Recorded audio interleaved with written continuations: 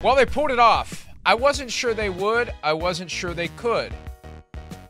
An amicable split that truly seems to be mutual, that seems to be as happy as Bill Belichick could ever be, and that results in Belichick walking away and going wherever he wants to go next without any fights, without any acrimony, without any of the stuff that would have been far more interesting, frankly, than what we saw yesterday. It would have been a lot more interesting if Bill Belichick had said what Pete Carroll said the other day. He said, It's not mutual. They fired me. But he didn't say it.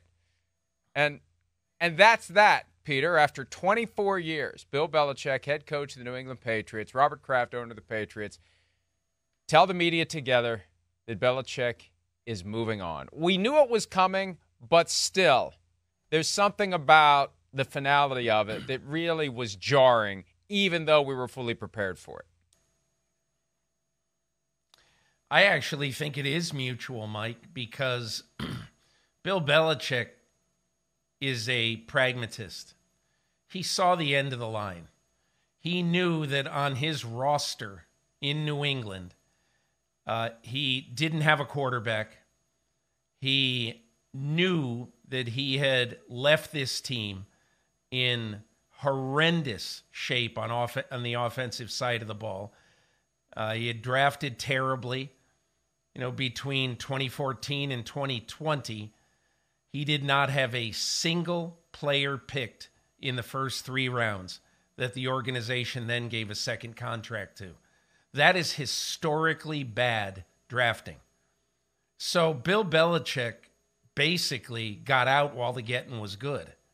If he had coached there one more year and gone 3 and 14, tell me, would the Arthur Blanks of the world be lined up to hire a 73 year old man in 2025? I don't think so. At least now he gets out of there with the vast majority of his dignity and football acumen intact. And he gets to go somewhere else. I presume he's going to get a job and in my opinion, it's best far better for the Patriots than trying to uh, do something just so that Bill Belichick could break the all time record for coaching victories in New England. Because think of it, Mike. People say, well, geez, he only needs 15. And what I say is, okay, you only need 15. You pretty sure you're going to get that in the next two years? I'm not. So he gets to go somewhere else. And I think, as you think, Mike, that it's probably for the best for all parties that this amicable divorce happens. One of the more fascinating moments yesterday came when Robert Kraft was meeting with reporters separately. Belichick and Kraft took no questions. They made their statements and they exited stage left, I guess it would have been for them. Kraft came back a couple of hours later and as to this idea that was floated by Belichick on Monday of taking less power, Charean Williams had a great observation on Tuesday. I viewed it as an effort by Belichick to make it harder for Kraft to remove the band aid. If Belichick is saying, oh, I'll do this, I'll do this, I'll do this. Charean sees it as a message to other teams that he's not going to walk through the door insisting that he be in charge. Kraft explained that it was gradual, that Belichick gained full control over the team over time. And it wasn't until after their third Super Bowl win that Belichick was fully in charge. And the problem now with clawing back some of that power, it creates confusion in the building. You've got the guy who previously ran Absolutely. everything answering Absolutely. to someone else. I'm reminded of what happened with Mike Holmgren in Seattle. Remember when they brought in a GM and took away his personnel power? That just doesn't work. You can say, we're going to make it work. But when the guy who's used to doing it his way all of a sudden has to do it with the input of someone else who has more power over the roster than he did, that just sets the stage for a big, ugly mess. There's no way it would have worked. And I applaud Kraft for saying what was totally pragmatic. Because I kept hearing this week, well, you know, Belichick could give up the power and bring in a real general manager and fire his entire offensive staff and do this and everything. I mean, you know, enough. Enough. It just, first of all, I mean, might it have worked? 10% chance, maybe. But in, Mike, in the NFL, nothing works without a quarterback. I don't care. We can talk about this till we're blue in the face. Doesn't matter. Nobody wins in the NFL without a quarterback. And so I look at this and say, this is Robert Kraft saying, we're going to get a traditional structure. We're going to get a general manager who runs the draft, and we're going to get a quarterback who coaches the team, or a coach who coaches the team, and we're going to get a new quarterback. Now, it's a long uphill climb without any question. But if you're Robert Kraft and Jonathan Kraft, Mike, you have to feel today, today is the first day of the rest of our lives. And we're damn happy about it. And and I think they are. I think they are. Robert Kraft, as he said yesterday, he is a sentimental guy. And this is what I was told about what was going to happen that the only way it could get fixed if the sentimentalist in Robert Kraft took over you know, and basically said, "Oh, come on, I want Bill to break the record here. I want him to retire a Patriot. That's the right thing." It probably is quote the right thing end quote, but there's also an old saying: "Time waits for no one." Our time is all. It's going to come for all of us. It's going to come for me. Going to come for you. It's going to come for every coach in the NFL came for Pete Carroll, Nick Saban, and Bill Belichick in a 24 in a 17 hour period this week. One of the most amazing things I think in football history is that in 17 hours, three, two particularly, and then Pete Carroll, obviously one of the great coaches, and and they're all gone. And it's a great point to make. These three men all in their 70s, all who would have to coach next year at either 73 or 72 are all gone and all born within seven months of each other in the Hoover administration. And, you know, so time marches on. And, and I agree with every, I talked to Rodney Harrison about this yesterday. He goes, I am so happy that Bill Belichick and Robert Kraft stood there together because that's the way it should be. This shouldn't be a time of guys being ticked off at each other. This should be a time to celebrate what they did. And I have no idea if Belichick had to be drag kicking and screaming into that event yesterday. I kind of doubt he did. He understands life and he understands football. And he knows that he would have looked extremely small if he didn't show up yesterday and say thanks for the memories. When he realizes he is playing to a new audience of owners who may be hiring him. And frankly, the fans of the various teams that will be interested in Bill Belichick might not be as interested in Bill Belichick. We've done some very unscientific polling via the always reliable social media about how excited fans would be about Bill Belichick taking over their team. And I did a very generic question couple of months ago. If your team is looking for a coach in the next cycle, do you want Bill Belichick? And it was an overwhelming no. So it's already going to be not an easy sell. It's not as automatic as it would have been five years ago. Five years ago, it's a no brainer. Anybody that can get Bill Belichick wants him fans, media, everyone.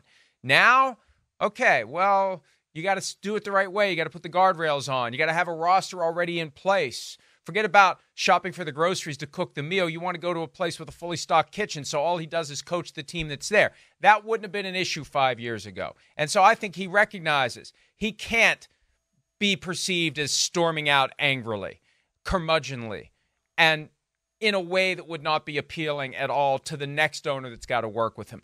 Another thing that happened yesterday, the closest thing to, I think, any criticism, and it was indirect but it's when Kraft said this we all need checks and balances in our life. We need what I say, and I call it we need Dr. No's around us, people to protect us from ourselves. And see, Belichick didn't have that. And it's it's possible that if Kraft didn't have that, he wouldn't have removed the band-aid. It could be that his own Dr. No was his son Jonathan who kept him on track, saying, "We ha- it's time, it's time. I know you're feeling sentimental. I know a lot's happened in 24 years. You're a fan of the team. You want a perfect ending. There is no perfect ending. It's time, it's time, it's time." But this idea that there there wasn't an appropriate check or balance against Bill Belichick, they allowed that situation to manifest itself because they were winning. The problem is you remove the winning and you have an organization that teeters on the edge, Peter, of becoming dysfunctional. You know, I thought yesterday when I was watching this, I thought when I look back at, you know, sort of the greatness of this franchise, one of the things I'll always think of is essentially, you know, sort of the line of demarcation in how the Patriots drafted. And I'm not saying they didn't draft anybody good uh, in the second half of the Belichick reign, but I think that he basically, once he consolidated everything and didn't really have anybody in the organization who could push back on him. I'll give you an example. I, I think it started to go downhill, although very gradually. Um, I think it started around 2011, 2012, right in there when I remember one year they drafted a cornerback, an oft injured cornerback from Virginia named Ras-I Dowling uh, in the second round in in uh, 2011. And and again, and I stress, he made some good draft choices after this. But to me, when I heard this story, I started to think, well, geez, he better be a genius if things like this keep happening. He he didn't tell a soul he was taking Ras-I Dowling. And I mean, I'm sure he told Kraft or, or whatever, but the scouts in that organization did not know when Ras-I Dowling was picked. They they heard it over the, the loudspeaker on TV or whatever, and they said, Wow, we took Ras-I Dowling and and that to me you know not having a clue with people in the organization who honestly should have a clue. There should be arguments about this and and all this. That to me you know and i'm sure that has that is risen and that is increased over the last few years. To me i think that is one of the things that kind of led to where we are today that bill belichick was the great and powerful oz and he didn't have a whoever it is, a Pioli or or even in the last couple of years a Caserio, you know, to push back. I have no idea if Caserio did. I know Pioli did, but so I I just think now when you look at this, signs of problems were coming, and in today's football, in the modern football, you cannot be a totally do it all guy. You just can't. And Bill Belichick tried to be that. And if they tried to take it back, as you said, Mike, and as Kraft said yesterday, it just wouldn't have worked. What happened yesterday was far and away the best thing for everybody concerned. And I think that that obsession with control and power and ultimately secrecy, it's deep rooted. He grew up on the campus of the Naval Academy. There's always been that military connection to football, yep. even when you aren't at a military academy. And I think one of the problems, as the game continued to evolve and grow and innovate from a personnel standpoint, he just didn't trust, trust enough people. And, and I think plain and simple, nobody knew it was Ras-I Dowling because, and Chris has explained this from his time working there, nobody knows anything. He doesn't want anybody to know anything because he doesn't trust that someone's going to yeah. run their mouth. Anonymous sources talking to reporters, who's texting whom, who's calling whom. He doesn't want to have to worry about that. This is one of the reasons why two of his kids work there. There are a lot of reasons why nepotism happens in coaching staffs, but one of them is if you can't trust your kids, you can't trust anybody, and you got to trust somebody, so you may as well trust your kids. And look, Mike, the other thing about this is, and I'm not saying that you know you you you have to trust x number of people in your organization or or talk to people about such and such but there comes a time when you believe that and even if you are a little bit humble about it. There comes a time when you believe that you're the great and powerful Oz. And I think Bill came to believe that. And why wouldn't he? He won six Super Bowls with the 199th yes. pick in the draft as his quarterback. Why wouldn't he think I'm smarter than everybody else? And and honestly, you know, there aren't many times when I would really argue that he wasn't the smartest guy in the room. I would just say over the last most of the last decade overall his drafts are embarrassing. They're embarrassing. Mike, listen to 2014 first round pick Dominique Easley. 2015 first round pick Malcolm Brown. 2016 first round pick Cyrus Jones. I'm sorry, first pick Cyrus Jones. 2017 first overall pick, but in the third round, Derek Rivers. 2018 first round pick Isaiah Wynn. 2019 first round pick N'Keal Harry. And then Kyle Dugger, who's been a pretty good player, 2020. Then Mac Jones in 2021. I don't want to sound crass about this, but Mac Jones might have been a good quarterback. Can you imagine Mac Jones playing for Kyle Shanahan versus playing for Bill Belichick, uh, you know, uh, and the cast of thousands who coached him after Josh McDaniel left after his rookie year? I, I it just this needed to happen. In some ways, it might have been a year overdue, but it needed to happen. And before things really went off the rails, it was embarrassing enough this year. For a Bill Belichick team to be nine games under 500, that is embarrassing. So, you know, before it would get worse, because I think it would have, you know, time to go.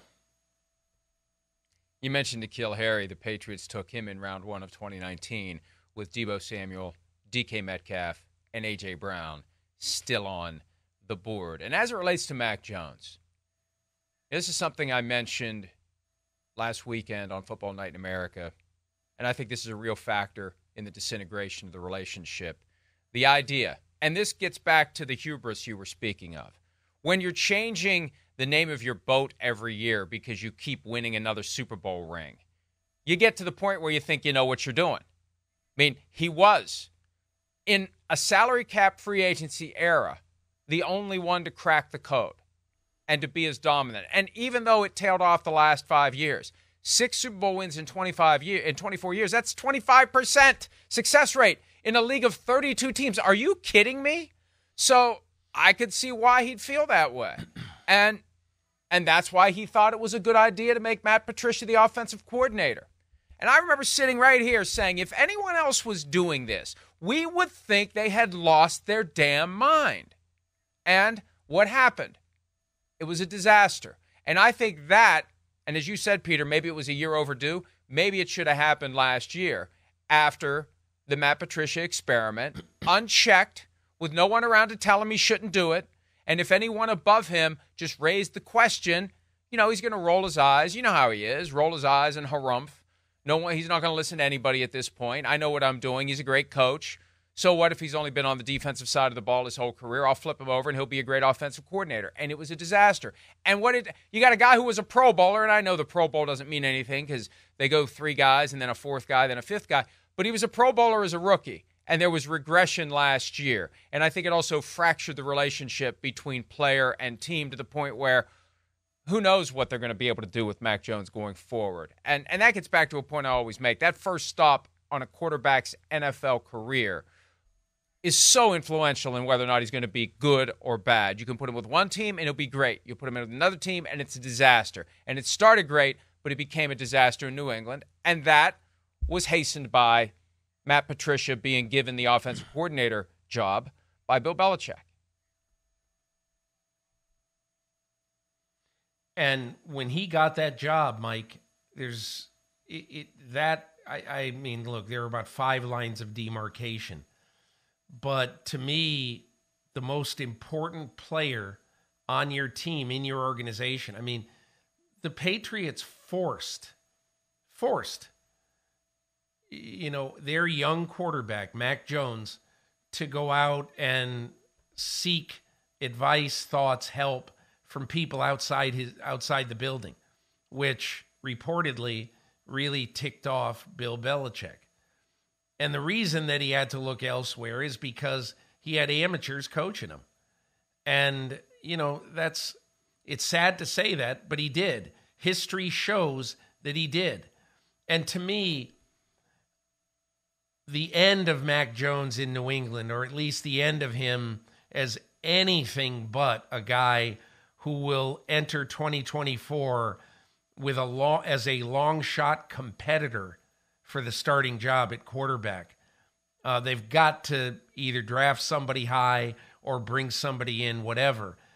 But the end was the absolutely totally embarrassing throw that he made in Germany at the end of the game against the Colts that essentially cost them a good chance to win the game.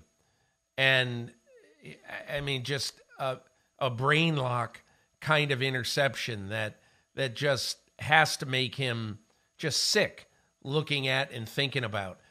But and that but that was a long time coming. That's in mid-year of year 3 of Mac Jones. And that throw right there in that game really said to me Mac Jones is a ruined quarterback. And he shouldn't have been a ruined quarterback. If he had either Josh McDaniels for the full tenure there or if he had a really good quarterback coach in year 2, he would have continued to progress. I think it's not smart to blame Bill O'Brien for Mac Jones's downfall. He inherited a you know an 80% ruined player. So uh, you know you try to scotch tape him and put Humpty Dumpty back together again, but it was too late. So I don't know. You know, you can look at a lot of reasons why this whole thing went off the rails, but the Mac Jones experiment is a huge part of it. And you mentioned the Germany game. Based on the things Robert Kraft said in advance of that game, that was a much more important contest yeah. than the average random regular season game. And and they they lost it. And our friend and colleague Tom Curran had since pointed out that that was the moment that Kraft had the realization it was time to move on. There was still an opportunity if they had finished hot, he would have changed his mind but that was really the key. That was the big game. That was the closest thing to a Super Bowl that the Patriots have been in since Super Bowl 53. Hi, it's Mike Florio. Thanks for watching PFT on YouTube. Hit subscribe for the latest news and analysis from Pro Football Talk.